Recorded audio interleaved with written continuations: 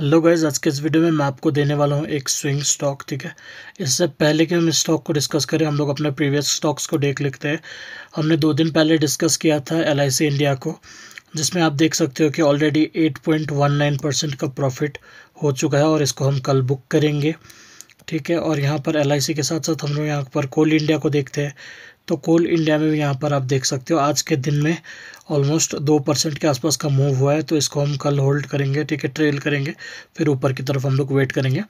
तो आज के इस वीडियो में जो स्टॉक के बारे में हम डिस्कस करने वाले हैं, उसका नाम है, ठीक है, उसका नाम है, ये ईवी e का बहुत फ़ेमस नाम है, ठीक है ईवी e सेक्टर का तो इसका नाम है ओलेक्ट्रा ग्रीन टेक ठीक है।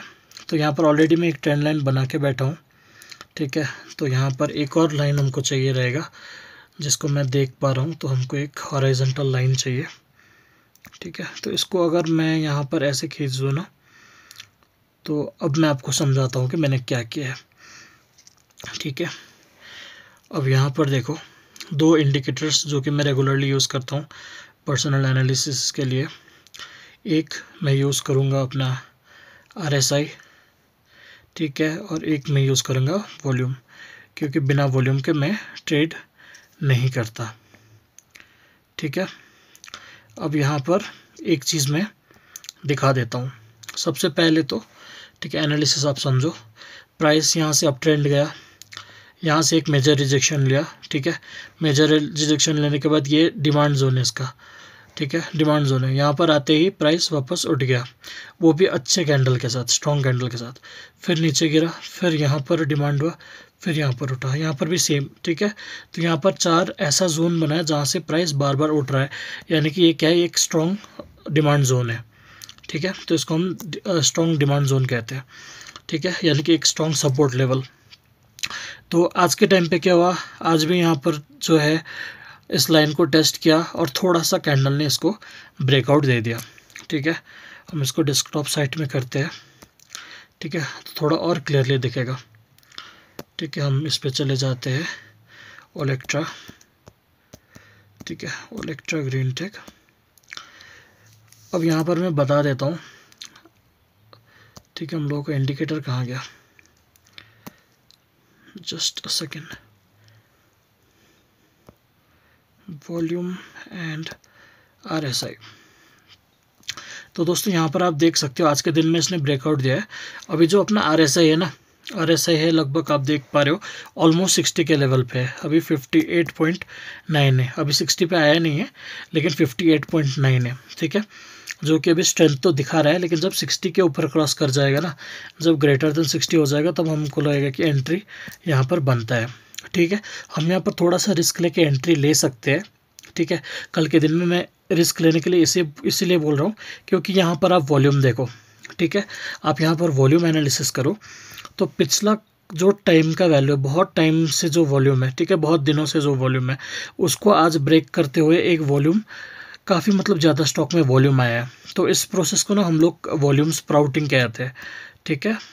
वॉल्यूम स्प्राउट, यानी कि अचानक से सिंगल डे में काफ़ी ज़्यादा वॉल्यूम इसमें आ जाना। तो अभी तक ईवी e सेक्टर ने उतना रैली नहीं दिखाया तो चांसेस है कि अब जो है ईवी e सेक्टर भी रैली दिखाए।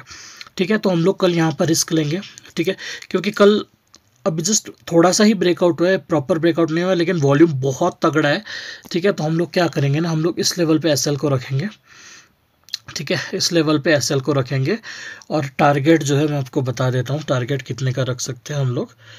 टारगेट लगभग यहाँ से लेकर, क्योंकि यहाँ पर एक हम लोगों का मेजर सपोर्ट जोन है, ठीक है? यहाँ से लेकर यहाँ तक का हम लोग ऐसे यहाँ पर टारगेट रख सकते हैं, ठीक है? तो मैं इसको थोड़ा सा ऊपर जूम करूँ ना तो लगभग हम लोग टू टू फाइव वन का टारगेट रख सकते हैं। और हम लोगों का एस में यहाँ पर थोड़ा ऊपर कर देता हूँ। तो एसएल हम लोगों का बैठेगा लगभग। अभी क्योंकि थोड़ा छोटा एस एल लेके हम लोग चलेंगे, ठीक है? तो 1693 के आसपास का हम लोगों का एस एल चलेगा। ठीक है, यहाँ पर मेजर सपोर्ट है। ठीक है, ये जाना तो स्टॉक ऊपर ही जाना है, वैसे लॉन्ग टर्म में अच्छा स्टॉक है। लेकिन अभी शॉर्ट टर्म की अगर मैं बात करूँ, क्योंकि हम स्विंग ट्रेडर है स्विंग की बात कर रहे हैं तो ये अपना टारगेट रहेगा और ये अपना एसएल रहेगा, ठीक है? कि मैं क्यों इस कंक्लूजन पे आया?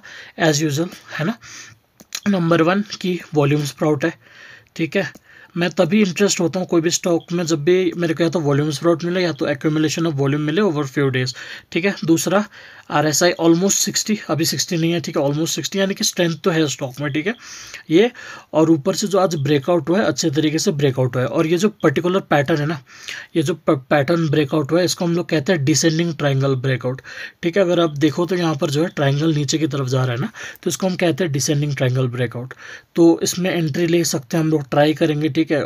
एलआईसी और कोल इंडिया में तो लक अच्छा रहा। अगर मार्केट कल भी अच्छा रहा और ईवी सेक्टर कल भागा तो यहाँ पर भी हमको अच्छा खासा रिटर्न देखने को मिल सकता है। ठीक है, आशा करता हूँ आपको वीडियो पसंद आए। नए वीडियो में बहुत जल्द हम फिर से मिलेंगे।